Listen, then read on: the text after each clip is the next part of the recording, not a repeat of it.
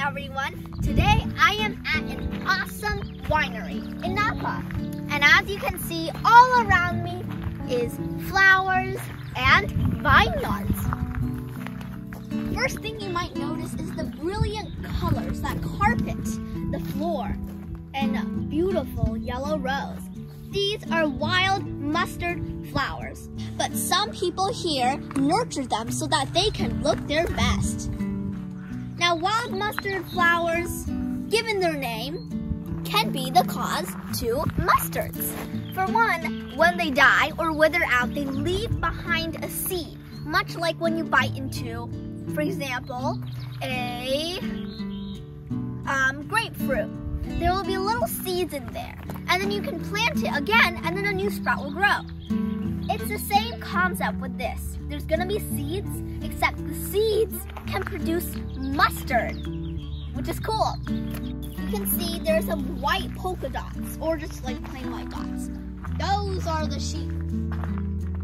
Now, the sheep eats other stuff, and especially this wild mustard flower. So right there, we can see a food chain coming to life.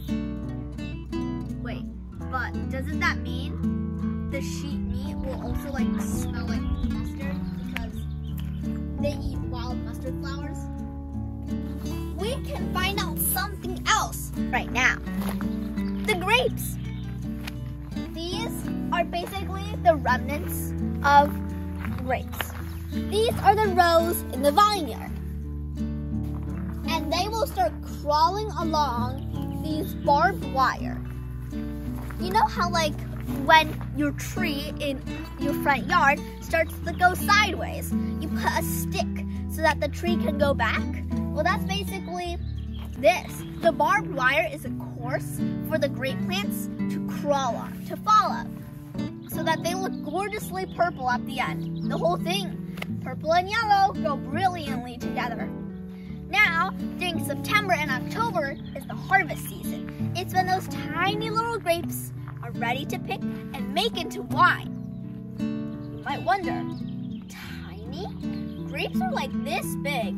Those aren't tiny compared to blueberries. But actually, those are just like table grapes, like the fruit grape that you can actually eat. But these wine grapes, yes, you can eat, but it's made for wine. Well, aside from that, we have a lot of other animals that range this area, just like us people do. Well, the first are snakes. Of course, it's too cold for snakes to be out. It's only February. But these snakes are sleeping in their tiny little coves, just ready to get out and eat some flowers or whatever they eat. There are also gophers. Gophers are those annoying little critters that dig up in your backyard and eat everything you have. Well, it's the same here. If there weren't devices that sent a tremor through the ground that would scare the gophers away, I call that ingenious.